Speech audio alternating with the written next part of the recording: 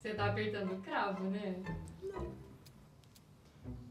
Oi, cara de boi! Que belo dia para um tutorial de maquiagem raiz daqueles que começa do começo e termina no fim. Que demais! E hoje a gente vai fazer uma maquiagem emo, suci no mousse. Pegar essa cara de sono aqui e transformar assim numa chuchuzinha O chuchuzinho que ela é. maravilhosa. E pra você não esquecer, já dá joinha aqui embaixo. Ai, mas eu não gostar? Se eu não gostar, você chega lá no final e diz dá o joinha. Mas dá o joinha, me ajuda muito mesmo. Tá vendo que eu tô toda microfonada aqui, né? Porque audiovisual, né? Visual áudio. E eu quero que esse vídeo tenha um áudio perfeito, porque você merece! Então vamos começar. O skincare da gata aqui tá em dia, mas ainda assim temos algo para fazer. Eu vou passar um serum hidratante. Lim. Ultimamente eu tô descobrindo que menos é mais, sabe? Esse negócio de passar um milhão de produto não é bom nem pro seu bolso, nem pra sua pele. Então, antes eu colocava, tipo, blim, blim, blim, blim. Aí enchia o pump de novo e colocava muito, muito, muito. Era legal pros challenges. Mas agora eu faço assim. Eu estendo a minha mão, espalho assim e não acumula produto no meu rosto. Eu economizo, demoro mais tempo pra precisar repor. E eu economizo tempo também, porque ó,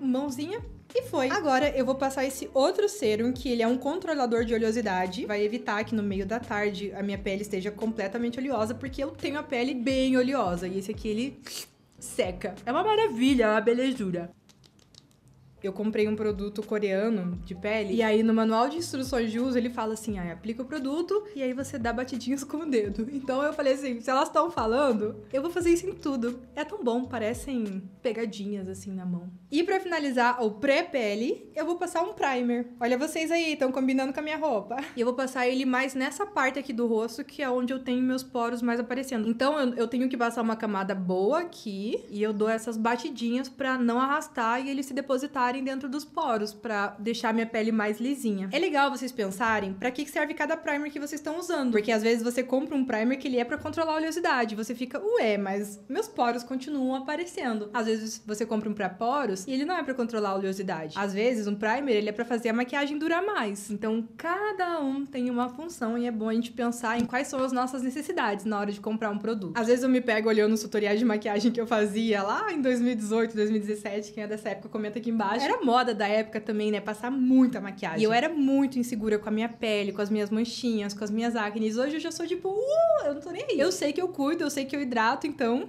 por isso, hoje, eu tento passar o mínimo de produto possível. Hoje eu vou aplicar um pouco mais ainda do que eu passo no dia a dia, porque dependendo do dia, eu passo só corretivo. Mas hoje, como estamos aqui, eu vou usar uma base. Essa Studio Fix, a cor dela é A63. Vou aplicar aqui no dorso da minha mão um pump de cada vez. Vou pegar com o pincel linguinha de gato, é importante que ele esteja limpo, então eu tenho uns quatro desses. E aí, toda semana eu lavo um e reponho um limpo enquanto o outro seca. E aí, eu vou começar aplicando do centro para as bordas bordas. Assim não fica aquela máscara, assim, aquele acúmulo de produto nas laterais. Então eu vou suavizando ele quando chega aqui perto do, do cabelo. Vou aqui na parte onde eu tenho mais manchinha, que é onde eu quero que tenha mais quantidade de produto. E eu gosto de pensar que eu sou uma artista, que eu tô pintando um quadro. Não é hora de ter pressa, sabe? E eu reparei que quando eu faço a maquiagem assim, eu nem demoro mais para fazer a maquiagem do que o normal. Na verdade, o fato de eu fazer com cuidado, assim, aos pouquinhos, me economiza tempo que eu estaria corrigindo. Nossa, essa base ela é bem sequinha, a cobertura dela não é a mais forte. Eu recebi essa semana. A MAC me notou, cara, que coisa legal. Tô muito feliz. Depois de 10 anos de carreira, né? Uma hora a gente realiza esses sonhos. E eu ainda tô testando essa base aqui, tô me adaptando com ela. Eu vou passar uma segunda camada porque eu senti que ela não pegou bem aqui nas minhas marquinhas, que hoje estão mais visíveis, talvez porque eu estivesse apertando a cara antes de começar a maquiar, o que é altamente não recomendado. E aí eu vou trazendo aqui queixo. Vocês viram que quando o pincel estava carregado de produto, eu espalhei, pintei mesmo, e depois que o pincel já tirou o excesso, eu venho dando batidinhas porque eu não quero arrastar esse produto que eu depositei. E aí, com que tem no pincel aqui de sobrinha, eu venho pintando partes que eu não preciso de cobertura, só de correção de tom. Que é aqui o nariz. O nariz eu só quero que ele não fique super vermelho, mas eu também não preciso passar muito produto nele. Assim como essas laterais aqui, ó. E o pescoço. Sabe uma coisa importantíssima que eu não passei, embora eu tenha passado de manhã, mas é muito importante vocês lembrarem, que é o protetor solar. Infelizmente, eu desenvolvi uma alergia ao protetor solar. Vocês acreditam num negócio desse? Pois é, gente. Tá vendo que tem um vermelhinho aqui embaixo do meu olho? É uma dermatite que eu comecei a ter depois que eu tava usando todo dia. Finalmente consegui desenvolver o hábito de todo santo dia passar protetor solar. E quando eu tava felizíssima, cuidando da minha pele, vendo o resultado que dava, fiquei com alergia, cara. E agora eu tenho que passar protetor mais longe, assim, e passar pomadinha ali para reduzir. Mas, nossa, faz assim, três meses, sei lá, fazem um. Desde o ano passado. Faz muito mais que seis meses, a gente tá em maio. Inclusive, maio é o meu aniversário. Uou! E eu estou de parabéns. e o pior é que depois que o protetor solar desenvolveu essa alergia, tudo meio que me dá alergia. Então, todo dia ela diminui e no final do dia ela aumenta porque eu acabo precisando passar um corretivo, uma base aqui e isso irrita a pele. Ai, é uma luta assim, a dificuldade da blogueira. Aqui é a mesma coisa, eu tento não encostar na sobrancelha, venho do meio e é onde eu aplico mais produto, também não tem muito no meu pincel. Tiro o excesso aqui e aí eu dou batidinhas levando para as outras laterais. Eu não preciso que o pincel dê um super acabamento. O que eu tô fazendo aqui é colocar o produto. Depois, quem vai fazer esse, esse papel de acabamento, de assentar, de deixar tudo lisinho, é a esponjinha.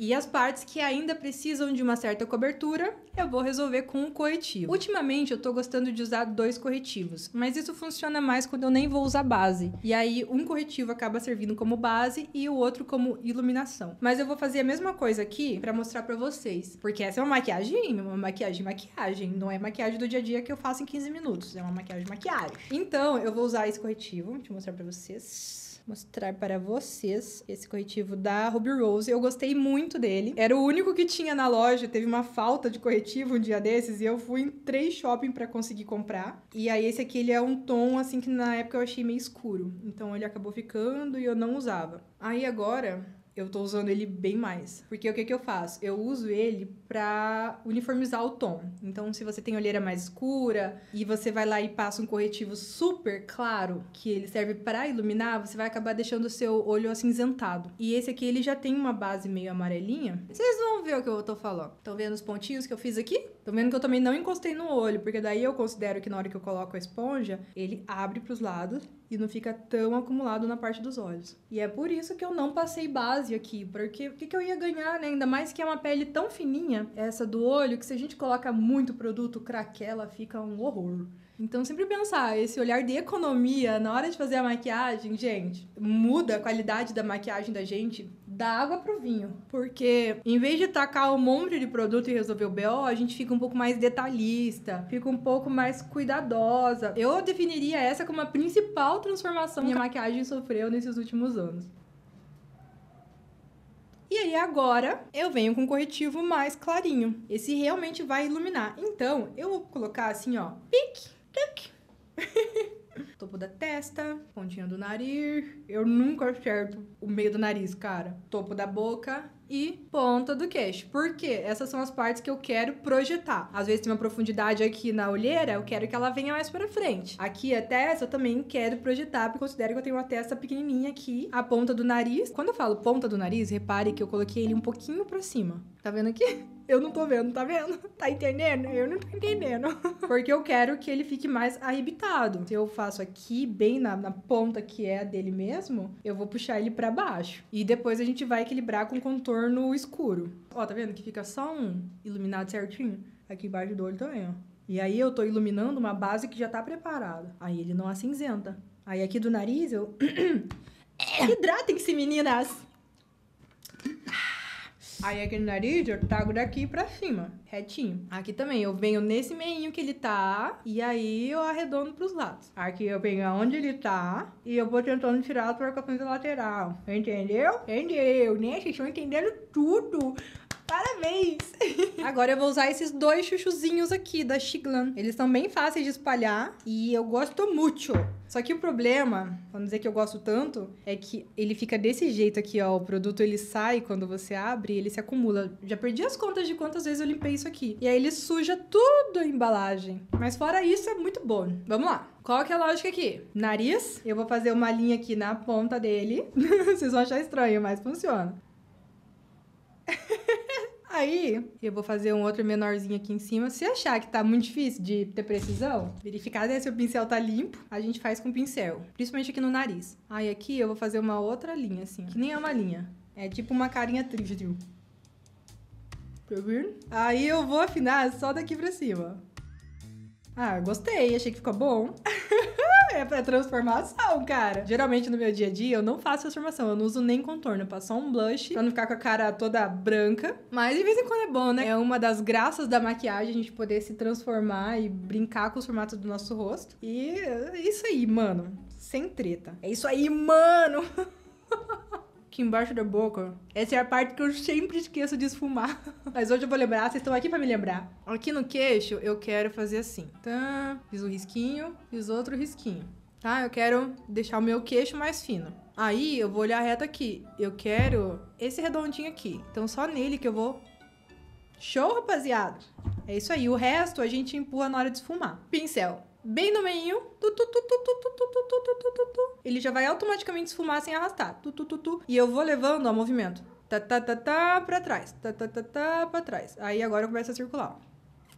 Assim eu limito de não descer com contorno até aqui embaixo. E eu mantenho ele nessa parte, na região que eu quero esfumar. Isso aqui é muito suave, sério. Esse corretivo aqui é suave até demais. Geralmente ele é mais fácil espalhar, que eu tô ablando aqui, daí eu deixei ele secar um pouco. Tá, tá, tá. Aí, ó, tá vendo eu não fiz esse meinho? Eu vou fazer esse movimento aqui,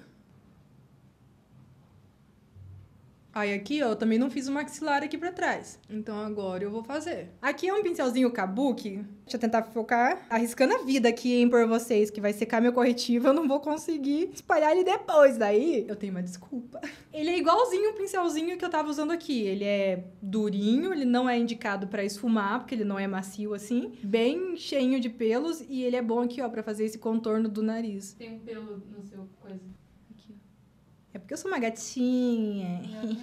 Então, olha só, gente, no Secrets, encosta aqui redondinho até lá em cima, redondinho até lá em cima, pra gente descer ele num esfumado. E a gente vai tentar aos poucos tirar essa linha bem forte daqui. Tê, tê, tê. Vai, vai com calma, com calma. Não tem que se estressar. Qualquer coisa, se você tiver que sair, você começa a te arrumar três horas antes. Aproveita que eu tô ensinando a maquiagem aqui pra durar, pra você conseguir fazer de manhã pra você sair à noite, rapaz. Eu faço muito isso, cara. Eu tenho um horário, que agora eu, eu tô dessa. Eu gosto de ter rotina porque eu percebi que me faz muito mais feliz e regula muito o meu humor, o meu nível de ansiedade. Então eu tenho. Não é sempre que eu consigo cumprir, não, sabe? Aqui eu já vou pegar um pincel mais grosso. Eu defino um horário de manhã para me maquiar. E eu espero que essa maquiagem dure se eu tiver um evento de noite. Eu passo um pó ali, dou uma retocada de leve, às vezes deixo a sombra mais forte, dou uma ajustada, mas a maquiagem tá lá. Eu faço uma maquiagem no dia e já era. Inclusive agora é de manhã e eu tô gravando essa maquiagem para ficar bonitona, gravar mais um monte de vídeo no resto do dia. Viu como fica suave? Viu como não fica muito, né, muito, muito?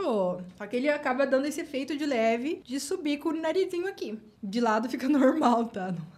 é só de frente. Mas eu não gosto quando fica, tipo, aquela coisa muito visível que você se empenhou pra caramba pra fazer um contorno. Depende da situação. Depende. Se for maquiagem mais artística, depende do rolê também. Tudo é válido. Tudo é válido. Agora eu vou fazer de novo um corretivinho aqui na ponta, bem mais.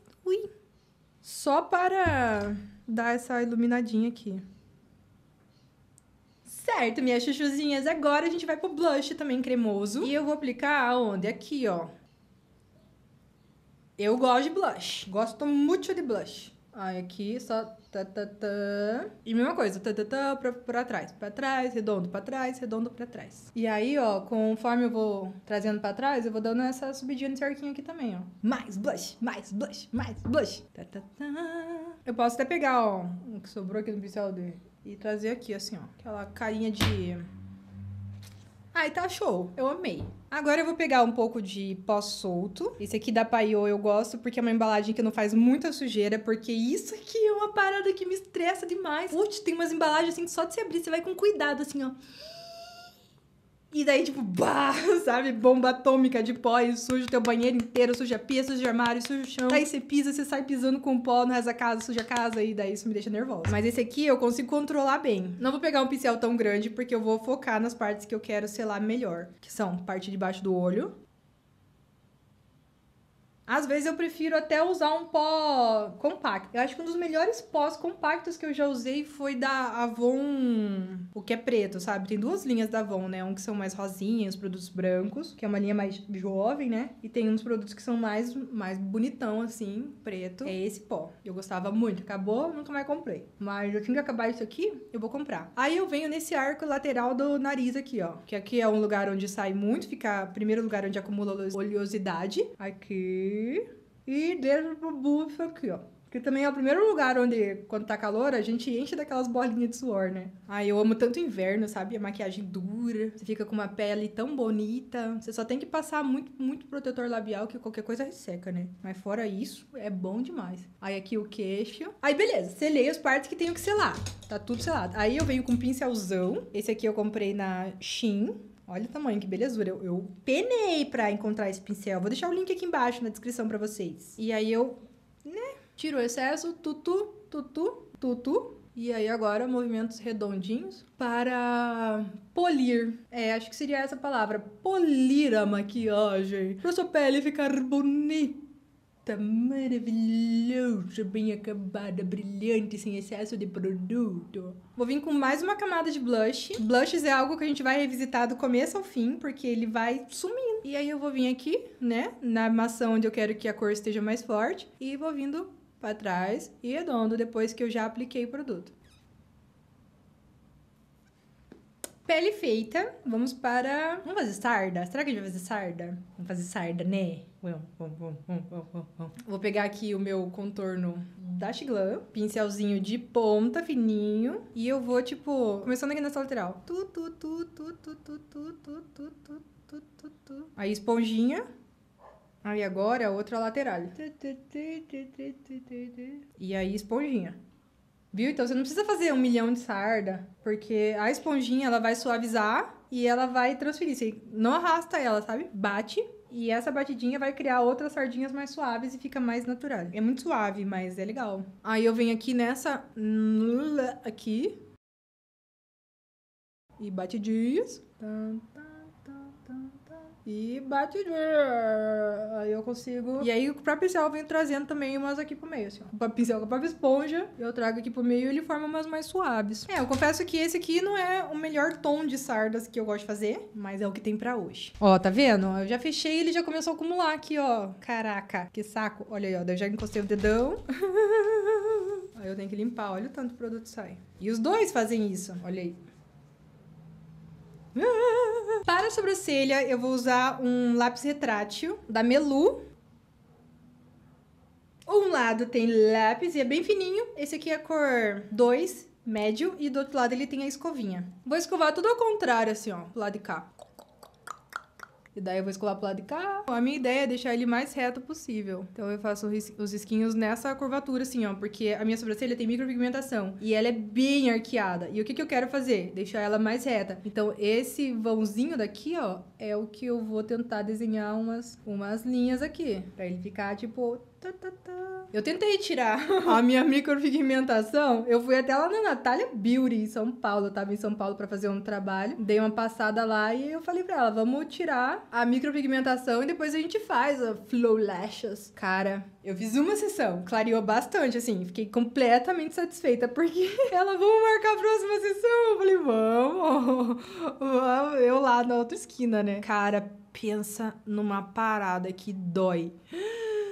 Misericórdia, nossa senhora, fiquei traumatizada. A ideia é que ela fique mais larguinha e, e, mais natural, assim. Hoje em dia não, não tá mais tão, tão interessante como era antigamente. Se que um dia foi interessante, sabe? Tipo aquelas modas de 2010. Porque, vocês lembram? Quando eu comecei a gravar tutorial de maquiagem, cara, eu fazia ela super delineada. Era tipo aquele negócio assim... Tá, tá, e era completamente preenchido. Daí ainda vinha com corretivo, com pincel fininho e marcava Quanto mais perfeito ficava, melhor. E aí eu preenchi ela inteira. Que hoje eu tenho essa noção. Eu quase, você viu, quando eu quase não fiz nada, assim, fiz três riscos aqui no começo. Acaba até fazendo algum assim, ó, pra deixar ela mais rebelde, né? Mas, mano, eu juntava, preenchia bem assim, ó, ficava uma linha reta, fazia tipo bem retinho assim, ó. Olha. Vamos fazer um minuto de silêncio pela minha sobrancelha de 2016. Agora eu vou usar máscara incolor da da Pop. Ela não é bem para a sobrancelha. Mas eu achei na minha casa, tava guardada há um tempão. Falei, vou usar, né? Porque ela é incolor. Só que assim, eu tenho que usar ela com cautela. Se ela acumula produto ou se eu passo ela na, na ordem errada, ela começa a formar umas colinhas brancas, gruda pó em cima. Então tem que ser a última coisa. Só que ao mesmo tempo eu tenho que cuidar na hora que eu faço assim pra ela não arrastar a base que tá em cima da sobrancelha. Olha, tem vezes que ela fica estranha. Mas tem vezes que ela fica boa. Tipo hoje, eu gostei. Tô satisfeita com a minha sobrancelha. Eu já falei pra vocês que eu já tô com fome. Parece que no dia que eu como café da manhã, daí que eu fico com mais fome no almoço, cara. É impressionante. Parece que se eu não tomo café da manhã e chega o horário do almoço, o meu corpo não lembra o que que é comida. Mas daí eu tomo café da manhã, dá duas horas e eu tô tipo. É que eu também tô fazendo uma parada que eu tô diminuindo a minha janela dos horários que eu como. Eu escutei um podcast que falava que se a gente quer mudar os nossos hábitos alimentares, em vez de a gente tentar primeiro cortar as coisas, tipo, ah, eu me alimento muito mal, como muita fritura, como muito açúcar, e eu chegar lá e vou cortar açúcar, vou cortar fritura. Não que seja o meu caso, eu me alimento bem, só que eu tenho compulsão alimentar, e aí eu acabo comendo muito eu como fruta, salada, pipoca, eu como coisas boas. Mas tudo em excesso, até água, faz mal. E aí, eu escutei essa pessoa falando que o primeiro passo para você conseguir resolver isso era diminuir a sua janela de alimentação e colocar o jejum intermitente na sua rotina. Então eu tento 8 horas da noite, é o meu limite para eu comer. Eu como das 8 da manhã às 8 da noite e não como mais. Aí chega de manhã, eu tô laricada, meu. Vou ensinar um truque de delineado pra vocês. Ó, você pode usar um cartão, eu não tenho nenhum, eu vou usar um palito. Qualquer coisa que seja reta que sirva como uma base para você fazer o delineado. Muita gente comete o erro de fazer o delineado, e eu fiz isso a minha vida inteira seguindo essa linha aqui do olho. Aí acaba fazendo um delineador lá pra cima. E ele não fica muito bom. Não fica muito harmônico com o rosto da gente. Então, a nossa sobrancelha, ela tem uma curvatura. Eu vou pegar o pincel e vou encaixar aqui, ó, na curvatura dele. Tá vendo? Aí, sem mexer o pincel, eu trago pra cá, ó. Aqui. Daí eu formo duas linhas retas, fica muito mais harmônico. Aqui. Aqui. Aqui. Aí, pausei, posicionei aqui. Ui, eu vi um. Ui, ui! Que isso, que isso, cara? Eu vi um negócio preto na minha cara. Eu achei que tinha encostado delineado em alguma coisa. Mas era o buraquinho do meu nariz. Nossa, agora podia botar aquele vídeo, né? Bem chapada. Meu Deus. Fiz ali o desenho, aí eu vou vir numa linha reta pro meu olho. Entendeu? Agora que você subiu de baixo, você pega aqui e traz reto. Olha pra frente, olha pra frente. E Ignora o, essa dobrinha do teu olho caso você tenha, tá? Não precisa pensar nela, não. A ideia é chegar desse ponto mais reto possível e encostar aqui na parte que tem cílios, sacou? Aí nós preenche, né? Vamos preencher. O importante é quando eu tô com o olho aberto. Aí eu fecho o olho e ele vai formar uma escadinha. E eu respeito essa escadinha. Eu vi uns tutoriais no YouTube mostrando como que faz cajal, sabe? Cajal que é muito usado nas maquiagens árabes e tal. E aí é muito legal como que elas fazem o cajal. E ele fica muito pigmentado. E depois ela coloca um olhinho e fica um delineado desse, assim, bem preto. E eu quero testar. Eu tô pensando em fazer. Eu ia postar essa semana, na verdade, era para ser um vídeo de kit de maquiagem. Esse era o plano. Mas eu tive tanto imprevisto essa semana, tanta coisa que aconteceu, que eu não ia ter tempo hábil para produzir o kit de maquiagem do jeitinho que eu gosto. Como que a gente vai fazer esse lado?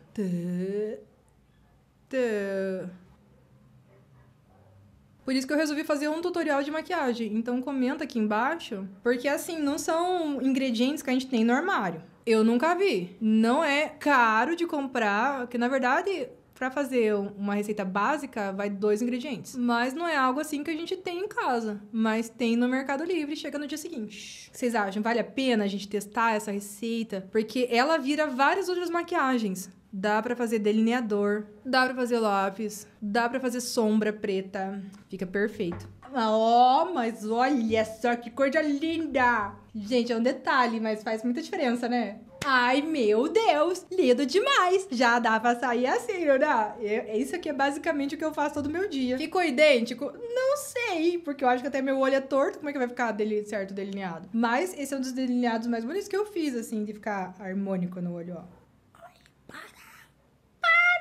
Só que a gente vai dar um acabamento, um tchan, um tchararará, um, um, um chururubi, um chururubi legal nela, um diferencial. Vou usar essa paleta aqui. Sombras básicas da Avon. Pincel redondinho e macio, não muito grande, mas também não precisa ser muito pequeno. Verifica se tá limpo, né?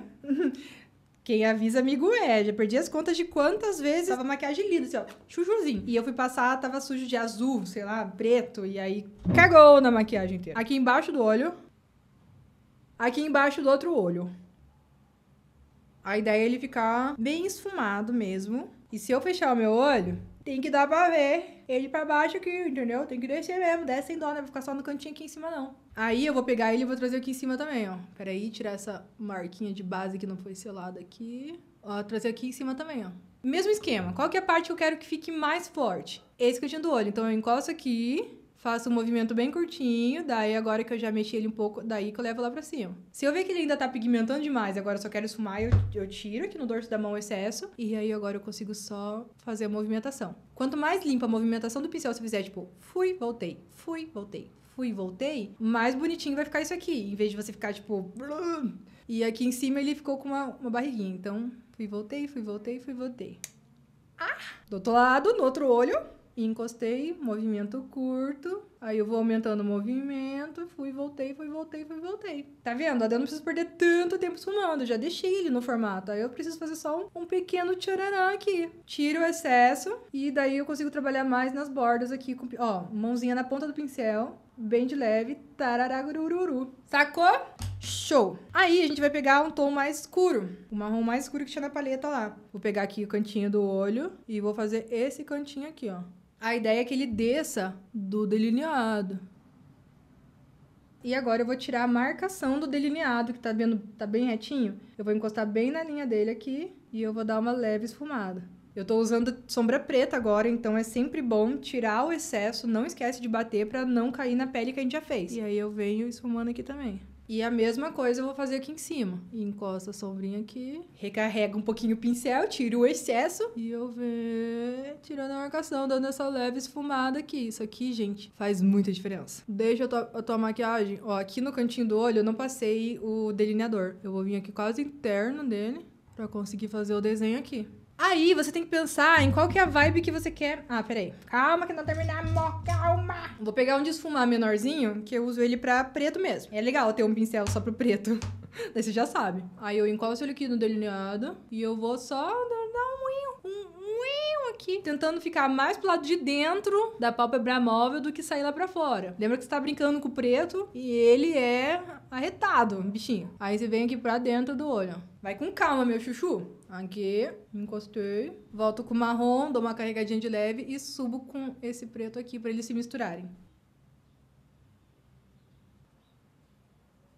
Nessa maquiagem, eu quero passar um olho forte, escuro, de poder, mas ainda quero ficar com essa cara de menininha, entendeu? Não quero ficar aquele arquétipo Cleópatra, uma coisa bem seduzente. Então, eu não vou fazer esse delineado que desce no canto do olho. Então, você tem que pensar em qual é a sensação que você quer transmitir. Tenha cuidado na hora que você faz sua maquiagem, mas não fica tão presa no perfeccionismo. Que é de longe, não vai dar pra ver tanto. Se você tomou cuidado na hora de fazer, a diferença não vai ser tão grande. Porque se você fica, cara, eu quero aquele esfumado perfeito. Isso vai estar muito mais na técnica como você faz do que em algo que você consiga corrigir depois. E quanto mais você tentar corrigir, mais você vai misturar as cores, mais vai ficar cinza, vai abrir sombra, vai. Eh, Não, sabe? Tá ótimo, tá linda, tá maravilhosa. Você olhou? Tá se achando bonita? Não tá? Então quer dizer que ainda tá faltando alguma coisa, que é o quê?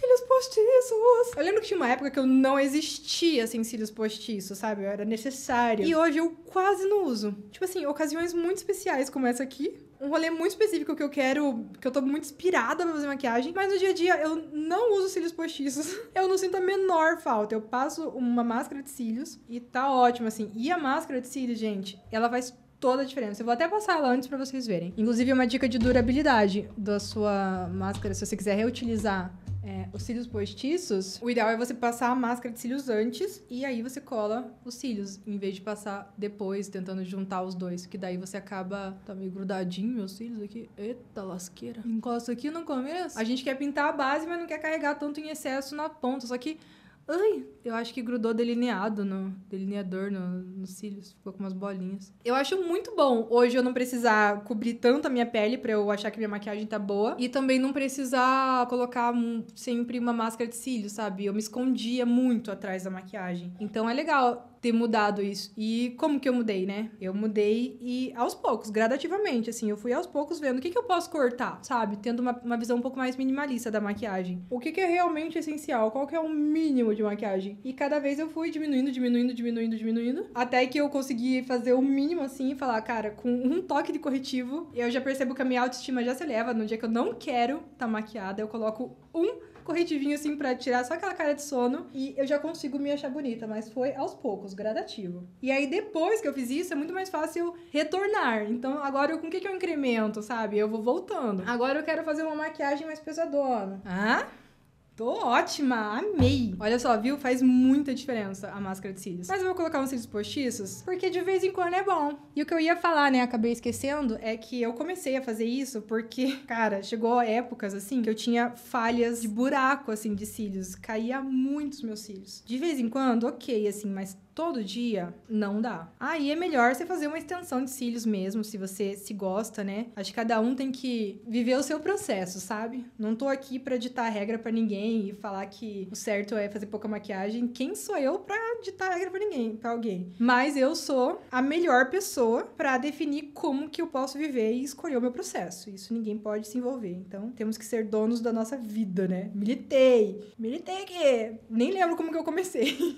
Pra falar disso, a propósito. Ah, é. Se hoje em dia os cílios postiços são essenciais para a construção da sua autoestima, mano, vai fundo, sabe? Se joga. Porque eu vejo dar muita polêmica na internet, sabe? Esses dias eu vi maior polêmica, assim, da galera falando que extensão de cílios era horrível e não sei o que lá. Tipo, ah, o povo é chato demais na internet. Pelo amor de Deus, às vezes faz os comentários assim que a gente não entende qual que é a utilidade daquele comentário. Inclusive, me lembrei, né? Que teve uns vídeos passados, assim, que eu postei no meu canal, porque eu acabei de voltar. Meu canal esse ano ele faz 10 anos. E eu postava, assim, nos primeiros 6 anos dele, eu postava 3 vídeos por semana, religiosamente. Fazia de tudo, assim, chorava se falhava com vídeo e tal. E aí, cara, fiquei meio perdida, assim. Precisei tirar um tempo pra mim, pra me encontrar, pra viver minha jornada nômade. E parei de postar. E o que que significa parar de postar no YouTube? Significa que o meu engajamento vai cair. Naturalmente, sabe? Eu perdi a confiança do algoritmo pra entregar o meu vídeo pras pessoas. Eu preciso agora mostrar pro algoritmo e pra vocês que estão assistindo o vídeo, pras minhas seguidoras, que vocês podem confiar em mim, contar que pelo menos na quarta-feira, toda semana, vai ter vídeo. E isso é um processo, leva um tempo. Eu não comecei a ter milhões de visualizações nos meus vídeos quando eu comecei de uma hora pra outra. E agora que eu tô voltando, eu não tô começando do zero, mas é quase.